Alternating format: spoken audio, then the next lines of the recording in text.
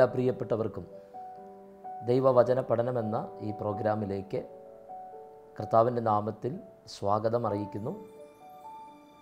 കർത്താവ് നിങ്ങളെ എല്ലാവരെയും ധാരാളമായി അനുഗ്രഹിക്കുമാറാകട്ടെ.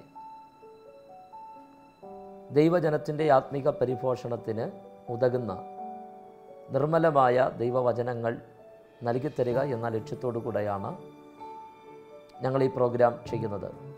വചനം വ്യത്യസ്ത മാധ്യമങ്ങളിലൂടെ ദൈവമക്കൾക്ക് ഏറ്റവും അധികം ലഭ്യമായിക്കൊണ്ടിരിക്കുന്ന ഒരു കാലഘട്ടത്തിലാണല്ലോ നമ്മൾ ജീവിക്കുന്നത്. എന്നാൽ ഇക്കാലത്ത് വ്യത്യസ്ത പ്ലാറ്റ്ഫോമുകളിലൂടെ സമൂഹത്തിലേക്ക് എത്തുന്ന ദൈവമക്കളുടെ ഇടയിലേക്ക് വന്നു ചേരുന്ന ദൈവവചനങ്ങളിൽ പലതും മായം ചേർത്തതും ദൈവവചനത്തോട് നീതി പുലർത്താത്തതും. യഥാർത്ഥമായ ദൈവവചനത്തിൽ നിന്ന് വചനത്തിന്റെ ഉദ്ദേശ ലക്ഷ്യങ്ങളിൽ നിന്നും ദൈവജനത്തിന്റെ ശ്രദ്ധയും വഴിയും തിരിച്ചുവിടുന്നതാണ്. അതുകൊണ്ട് തന്നെ നിർമ്മലമായ ദൈവവചനം കൃത്യമായ വചന വെളിച്ചത്തിൽ തന്നെ ദൈവമക്കളെ നിലനിർത്തുക എന്ന ലക്ഷ്യമാണ് ഞങ്ങൾക്കുള്ളത്. ദൈവവചനത്തിൽ നിന്ന് ഇന്ന് നിങ്ങളോട് പങ്കുവയ്ക്കുവാൻ ആഗ്രഹിക്കുന്നത് ലുക്കോസിന്റെ സുവിശേഷം പത്താം അധ്യായം മുപ്പത്തിയെട്ട് മുതൽ നാൽപ്പത്തി രണ്ട് വരെയുള്ള വാക്യങ്ങളിൽ നിന്നാണ്.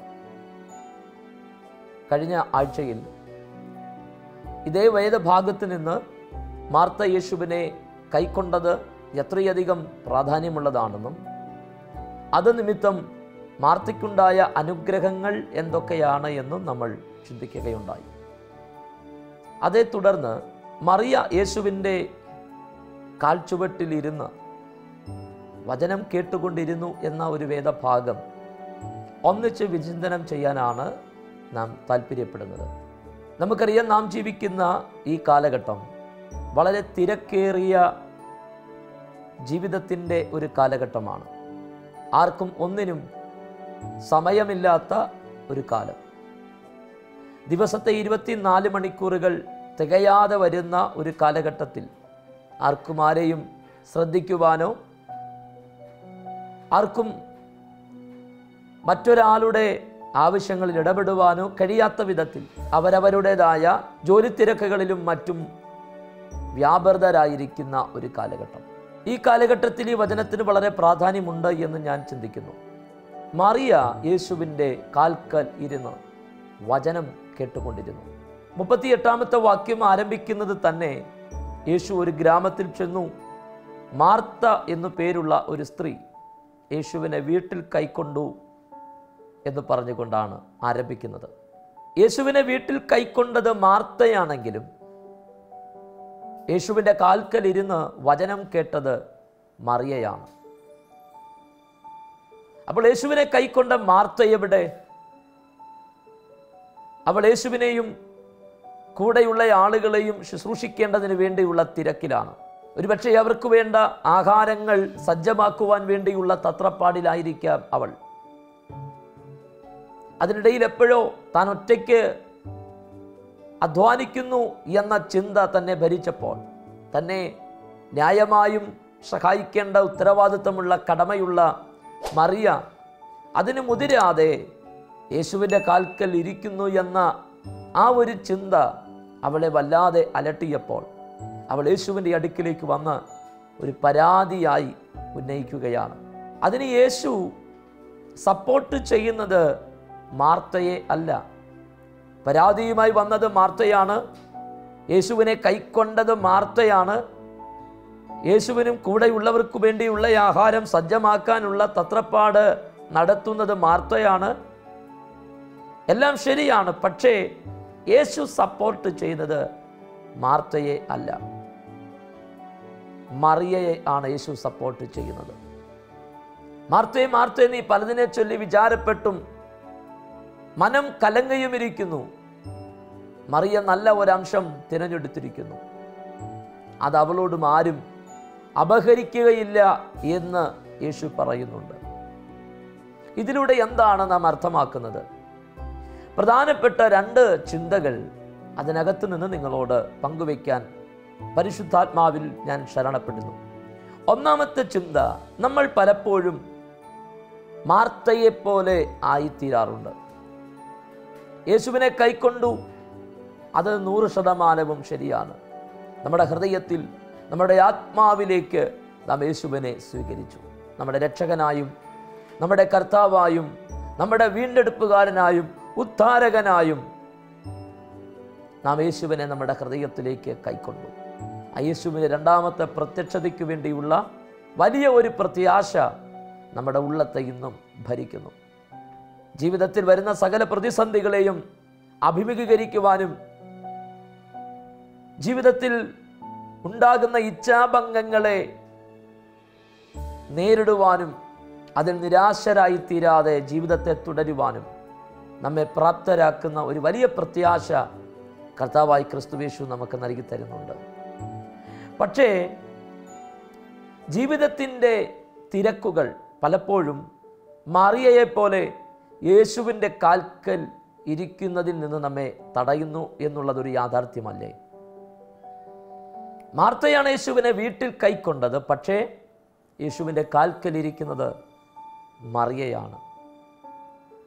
യേശു എന്താണ് ആഗ്രഹിക്കുന്നത്? യേശു നമ്മിൽ നിന്ന് എന്താണ് പ്രതീക്ഷിക്കുന്നത്? യേശുവിനെ കൈക്കൊണ്ട ഒരു വ്യക്തി യേശുവിന്റെ കാൽക്കലിരുന്ന് വചനം കേൾക്കണം എന്നുള്ളതാണ് യേശു ആഗ്രഹിക്കുന്നത്. യേശു അതാണ് നമ്മിൽ നിന്ന് പ്രതീക്ഷിക്കുന്നത്. അതാണ് നമ്മുടെ ഉത്തരവാദിത്വം. ആവർത്തന പുസ്തകം മുപ്പത്തിമൂന്നാം അധ്യായത്തിൽ നാം വായിക്കുന്നത് അവർ തൃക്കാൽക്കലിരുന്നു. അവനിൽ നിന്ന് വചനം പ്രാപിച്ചു എന്നാണ്. അപ്പോൾ ദൈവവചനം പ്രാപിക്കാൻ കഴിയണമെങ്കിൽ കർത്താവിന്റെ കാൽക്കൽ നാം ഇരുന്നേ പറ്റുകയുള്ളൂ. കർത്താവിന്റെ കാഴ്ചവട്ടിൽ നാം ഇരിക്കണം. നമുക്കറിയാം ഇന്ന് ദൈവവചനം അനവധി ലഭ്യമാകുന്ന ഒരു കാലഘട്ടമാണ്. ഷമുവേലിന്റെ കാലമൊക്കെ വചനം ദുർലഭമായിരുന്ന ഒരു കാലഘട്ടമാണ്. പക്ഷെ ഇന്ന് സുലഭമായിരിക്കുന്ന ഒരു കാലഘട്ടം. ഇന്റർനെറ്റിന്റെ വരവോടെ ഫേസ്ബുക്കും യൂട്യൂബും പോലെയുള്ള സോഷ്യൽ മീഡിയ പ്ലാറ്റ്ഫോമുകളുടെ വരവോടെ ദൈവമക്കളിലേക്ക് ദൈവവചനത്തിന്റെ ഒരു വലിയ ഒഴുക്ക് സംഭവിക്കുന്ന ഒരു കാലഘട്ടം. എവിടെ നോക്കിയാലും ദൈവവചനം ലഭ്യമാണ്.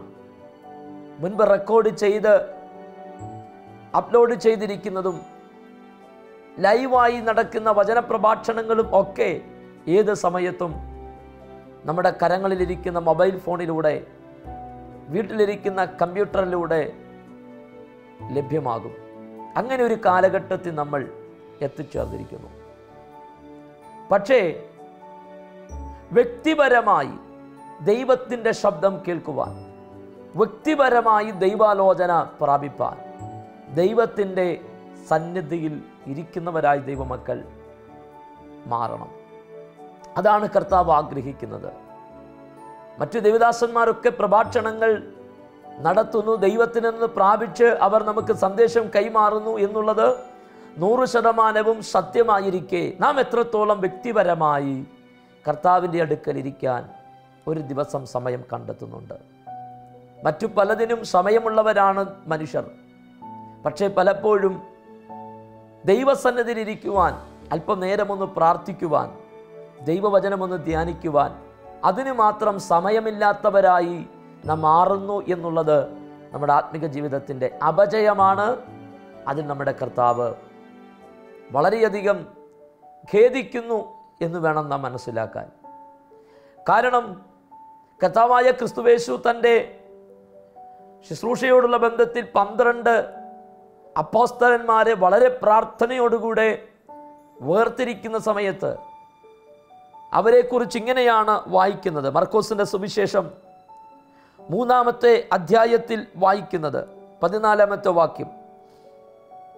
അവൻ തന്നോട് കൂടെ ഇരിപ്പാനും പ്രസംഗിക്കേണ്ടതിന് അയപ്പാനും ഭൂതങ്ങളെ പുറത്താക്കേണ്ടതിന് അധികാരം ഉണ്ടാകുവാനും പന്തിരുവരെ നിയമിച്ചു. പന്ത്രണ്ട് അപ്പോസ്തലന്മാരെയും നിയമിക്കുമ്പോൾ കർത്താവായ ക്രിസ്തുവേഷു പറഞ്ഞ ഒന്നാമത്തെ വാചകം ഇതാണ്. തന്നോട് കൂടെ ഇരിക്കുവാൻ. അതിനുശേഷമാണ് ഭൂതങ്ങളെ പുറത്താക്കുന്നത്. അതിനുശേഷമാണ് രാജ്യത്തിന്റെ സുവിശേഷം പ്രസംഗിക്കുന്നത്. അപ്പോൾ ഏറ്റവും പ്രാധാന്യം കർത്താവിന്റെ കൂടെ ഇരിക്കുക എന്നുള്ളതിനാണ്. ഇനി ഗതസമന തോട്ടത്തിലേക്ക് നാം വന്നാൽ തന്റെ കൂടെയുള്ള മൂന്ന് ശിഷ്യന്മാരോട് പത്രോസിനോടും യാക്കോബിനോടും യോഹന്നാനോടും പരീക്ഷയിൽ അകപ്പെടാതിരിക്കേണ്ടതിന് ഉണർന്നിരുന്ന് പ്രാർത്ഥിപ്പീൻ എന്ന് പറഞ്ഞേൽപ്പിച്ചിട്ട് കർത്താവ് ഒരു കല്ലേറ് ദൂരത്തോളം വാങ്ങിപ്പോയി. പിതാവിനോട് പ്രാർത്ഥിച്ചിട്ടും മടങ്ങി വരുമ്പോൾ കാണുന്ന കാഴ്ച ശിഷ്യന്മാർ ഉറങ്ങുന്നതാണ്. അവരെ വിളിച്ചുണർത്തി കർത്താവ് ചോദിച്ചൊരു ചോദ്യമുണ്ട്. ഒരു നാഴിക പോലും എന്നോട് കൂടെ ഉണർന്നിരിപ്പാൻ നിങ്ങൾക്ക് കഴിഞ്ഞില്ലേ? നോക്കൂ ആ ചോദ്യം എത്രയോ ശക്തമായ ചോദ്യമാണ്. എല്ലാ കാലഘട്ടത്തിനും പ്രസക്തമായൊരു ചോദ്യം. ചാട്ടുളി പോലെ മനുഷ്യന്റെ മനസ്സിലേക്ക് തുളച്ചു കയറുന്ന ഒരു ചോദ്യം. ഒരു നാഴിക പോലും ഉണർന്നിരിക്കാൻ നിങ്ങൾക്ക് കഴിഞ്ഞില്ലേ? മറ്റു പലതിനും വേണ്ടി ഉറക്കിളച്ച് സമയം ചിലവഴിക്കുന്ന സമയത്തെ മാറ്റിവെക്കുന്ന അത്യാവശ്യമെങ്കിൽ ഒരു രാത്രി മുഴുവനും വേണമെങ്കിൽ ഉറങ്ങാതിരിക്കാൻ കഴിയുന്ന നിങ്ങൾക്ക് അതിനുവേണ്ടി പരിശ്രമിക്കുന്ന നിങ്ങൾക്ക് പലപ്പോഴും അത് ചെയ്തിട്ടുള്ള നിങ്ങൾക്ക് എന്റെ അടുക്കൽ എന്നോട് കൂടെ അല്പസമയം ഒന്ന് ഉണർന്നിരിക്കാൻ കഴിയുന്നില്ലേ? തിരക്കുകൾ ജീവിതത്തിൽ വർദ്ധിച്ചു വരുന്ന ഈ കാലഘട്ടത്തിൽ ഉത്തരവാദിത്തങ്ങൾ കൂടി വരുന്ന ഈ കാലഘട്ടത്തിൽ തിരക്കുകളിൽ നിന്ന് തിരക്കുകളിലേക്ക് മനുഷ്യൻ ഓടിക്കൊണ്ടിരിക്കുന്ന ഈ കാലഘട്ടത്തിൽ കർത്താവ് ആഗ്രഹിക്കുന്നു മറിയ യേശുവിന്റെ കാൽച്ചുവട്ടിൽ ഇരുന്നത് പോലെ യേശുവിന്റെ കാൽച്ചുവട്ടിൽ ഇരിക്കുവാൻ എത്ര പേർ സമയം കണ്ടെത്തുന്നു. യേശുവിനെ കൈക്കൊണ്ട മാർത്ത പല ശുശ്രൂഷകളാൽ കുഴങ്ങിയതുപോലെ പലതിനെ ചൊല്ലി വിചാരപ്പെട്ടും മനം കലങ്ങിയും ഇരിക്കുന്നത് പോലെ ഇന്ന് ഞാനും നിങ്ങളും മാറിയിട്ടില്ലേ എന്ന ഒരു സ്വയ പരിശോധനയ്ക്ക് നാം തയ്യാറാകണം. യേശുവിനെ കൈക്കൊണ്ടു ശരിയാ പക്ഷേ നാം ശുശ്രൂഷകളുടെ തിരക്കിലാണ് അധ്വാനത്തിന്റെ തിരക്കിലാണ്. പലതിനെ ചൊല്ലിയുള്ള വിചാരത്തിലും മനോവിഷമത്തിലും നാം കലങ്ങി കിടക്കുകയല്ലേ? കർത്താവിന്റെ അടുക്കൽ ഇരിക്കുവാൻ കഴിയാത്തവരായി നാം മാറിയിട്ടില്ലേ? കർത്താവ് സപ്പോർട്ട് ചെയ്തത് മറിയ എന്ന് പറയുന്ന ആ സഹോദരിയെ ആണ്. അവൾ നല്ല അംശം തിരഞ്ഞെടുത്തു. അതാരും അവളോട് അപഹരിക്കുകയില്ല. എന്നെ കേൾക്കുന്ന പ്രിയരെ നാം മറിയയെപ്പോലെ യേശുവിന്റെ കാൽച്ചുവട്ടിൽ ഇരിക്കുവാൻ മനസ്സുള്ളവരായിട്ട് മാറണം. യേശുവിനെ കൈക്കൊണ്ടു എന്നതുകൊണ്ട് തീരുന്നതല്ല നമ്മുടെ ഉത്തരവാദിത്വം. യേശുവിനെ സ്വീകരിച്ചു എന്നുള്ളത് കൊണ്ട് അവസാനിക്കുന്നില്ല നമ്മുടെ കടമകൾ. നമ്മിൽ നിന്ന് യേശു തുടർന്നും പ്രതീക്ഷിക്കുന്നു യേശുവിനോടൊപ്പം നാം ഇരിക്കണം. യേശുവിന്റെ കാൽക്കലിരുന്ന ദൈവ വചനം നാം പ്രാപിക്കണം. കർത്താവിന്റെ വായിൽ നിന്ന് വരുന്ന വിലയേറിയ തിരുവചനങ്ങളെ നാം പ്രാപിക്കണം. അത് ജീവിതത്തിൽ പ്രാവർത്തികമാക്കണം.